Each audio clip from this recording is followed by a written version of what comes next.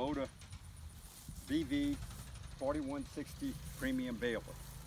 Um, here's a product that comes out of it. It's a 61.2 inches in height. It's a 4x5 bale. It makes it very consistently and real tight on the inside. Of course, we can adjust it to get as tight as we want, um, but it makes a real nice, consistent bale. The bale itself is made by Kubota.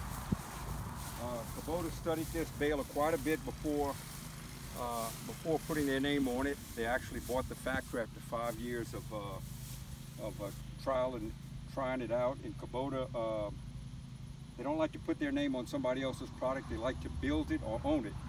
And they have uh, they have done a great job with this. It's a quite a quite a baler. I've had five balers before this, five round balers, and um, there's no comparison. This this bale is just easy to operate. It um, it bales at a very fast pace. It bales, it it cleans up real good. The pickup reel, you might come over here and look at the pickup reel. It, uh, it picks up real clean. It also has some augers to push the hay into the middle. And um, it does an amazing job of picking up a lot of hay, which we're going to show you in a minute. And uh, it does a really fine job of picking up. It uh, does a good job of maintaining the core all the way to the end of being a good, dense, and tight bale. It wraps it very quickly, and you can load, unload the bale in a very short period of time, which is impressive. Um, I like everything about the baler. I've had it now for about two, two and a half years, and it has done uh, an amazing job. Uh, when I ask the Kubota people and the people what to expect as far as problems, they said, really, we haven't had any problems. And I found that very difficult to believe at first, since I've had balers, and all balers seem to have had a lot of issues. But this baler, once uh, I got on it, and uh, it's like you get on it at the beginning of the day, you bale, and you get off of it at the end of the day. Uh, you just don't have to get on and off the tractor to, to check this and check that. It, it just does its job. It makes it very easy. It bales very quickly. Uh, we're baling about a bale a minute right now, um, and it's, uh, it's an amazing piece of equipment. Uh, I'd like to show y'all it in operation. Uh, we have a monitor that gives you a lot of information. You can put it on automatic or manual.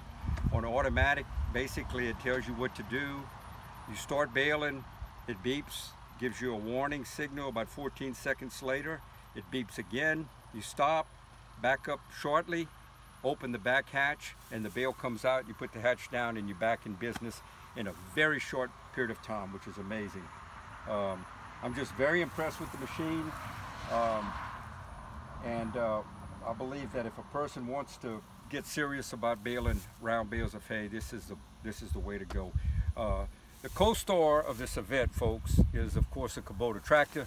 And here we have a 9960, which has uh, previously been replaced by the M5 uh, 111. But the 9960 is the tractor we have here, which is just about three or four years old. It's a fine tractor. Um, I like everything about it. It has a 12-speed transmission and um, economical, smooth running engine. The air conditioner blows very cold. It has a very nice front end loader, easy, quick attach um, bucket, as well as a quick attach loader. So, um, we come on in, and I'm gonna I'm gonna let y'all watch me bale a bale, and then when after I come around again, I'm gonna have uh, my videographer, Mr. Matt, uh, get in the tractor and kind of watch the monitor and see things. So if you excuse me a minute, I'm gonna get get started. Y'all can hear the engine start and I'm gonna crank up and you'll see me go. I'm traveling at about 6.3 miles an hour and it's pretty thick head.